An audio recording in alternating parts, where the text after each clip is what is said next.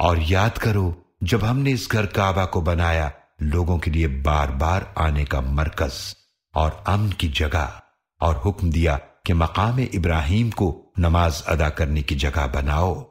और हमने ताकीद की इब्राहिम सलाम और इस्माइल सलाम को कि तुम दोनों मेरे घर को पाक रखो। तवाफ करने वालों और एहतकाफ करने वालों और रुको सुजूद करने वालों के लिए।